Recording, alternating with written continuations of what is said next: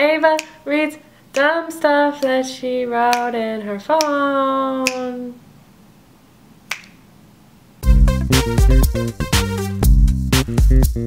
Listen, I was in Starbucks. I was on my laptop. And then another woman at another table was on her laptop.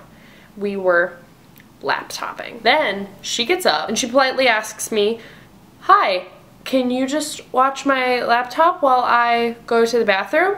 And I was like, yeah, sure. And then she walked away and I was like, wait, oh God, what if someone tries to steal your laptop? I'm not actually gonna watch your laptop. I'm looking at it, sure, and I'll like check on it a few times. But if someone were to like, like take it and run away, the chances of me being like, no, stop, no, let me chase you are zero. Why would I interfere, especially if they're scary looking?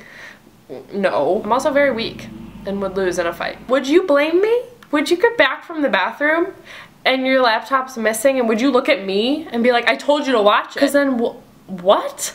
Like, that's not my fault. Uh, who knew you were gonna get robbed? The responsibility is on me when really I